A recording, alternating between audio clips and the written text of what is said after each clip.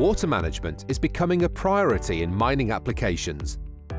Recent disasters from all over the world clearly demonstrate the dangers of traditional mining water management. Tailings dam failures have been on the rise due to extreme or unexpected weather conditions, such as heavy rains or earthquakes, overloading the tailings dam beyond design, or poor dam management practices. The risks and failures of tailings dams could be completely avoided by dewatering and dry stacking the tailings.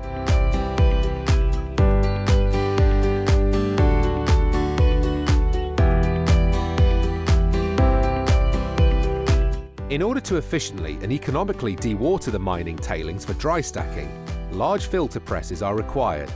Diemme Filtration, a brand of Aqseptence Group, has been at the forefront of large filter press development with a focus on reducing operational costs while achieving the driest filter cake possible.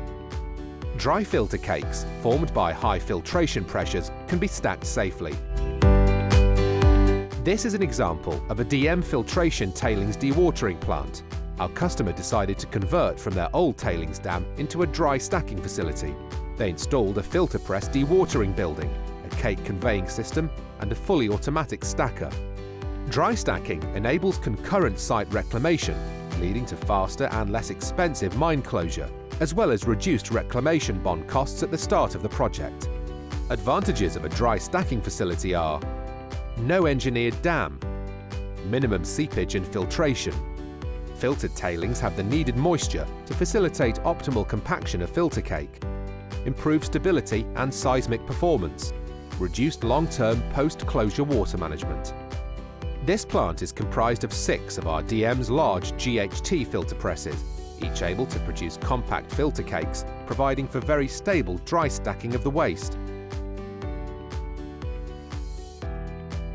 The filtered cake is transferred by conveyor from the filter press building to the dry stacking area. Here, the dry material is distributed in rows formed by a stacking conveyor and compacted by a bulldozer.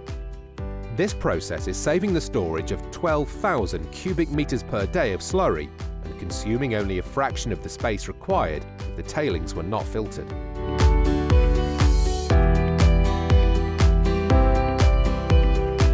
With the implementation of advancing technology and the use of Diemme filter presses, mining facilities now have the opportunity to eliminate the risks associated with traditional methods of water management.